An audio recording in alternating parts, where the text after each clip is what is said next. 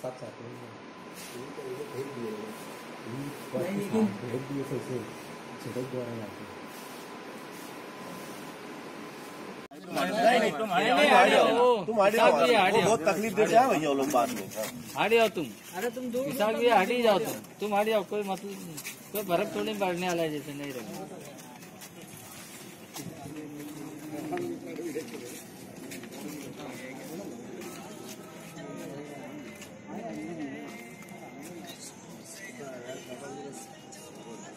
क्या हुआ बेटा? तू कहाँ से कहाँ जा रहा था और क्या हुआ?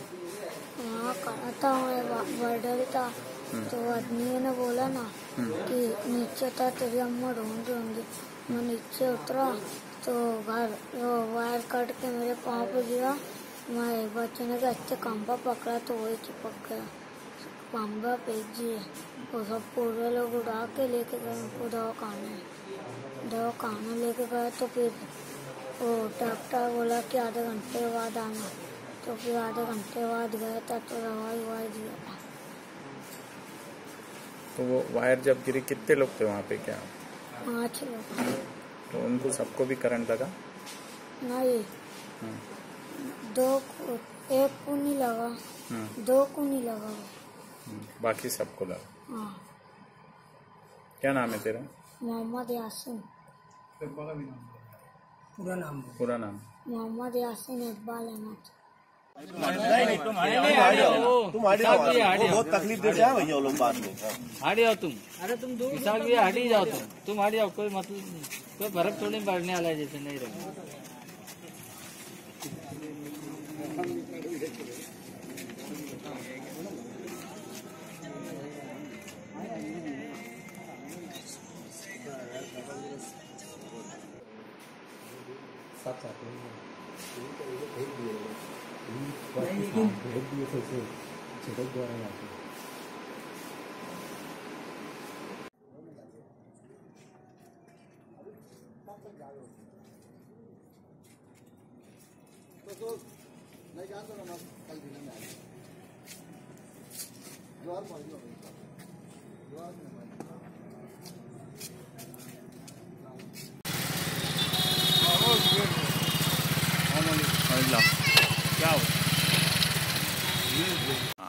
हाँ बोल। आज ये जो हादसा हुआ है ये एमएससीबी की नाअहली की वजह से हुआ है। एमएससीबी डिपार्टमेंट में बार बार कंप्लेन करने के बाद कि तुम्हारा जंप टूटा छीनी टूट गई है तुम उसको रिपेयर करो बना लो।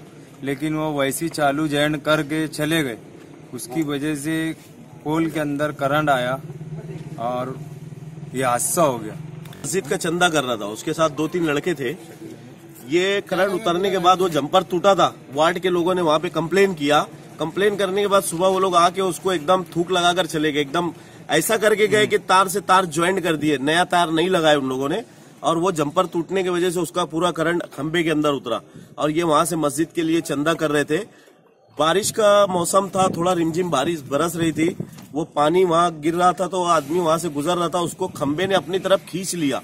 और खींचने के बाद वो आदमी का इंतकाल हो गया। एक लड़का जिसकी उम्र 20 से 22 साल है वो भी इतना ज़्यादा जख्मी हो गया है कि उसकी भी शायद हो सकता अल्लाह उसको ज़िंदगी दे उसकी भी नो गारंटी है। तो आप लोगों से हमारी गुजारिश है कि मालेगांव शहर के अंदर ये सब हादसा कब तक होते रहेंगे?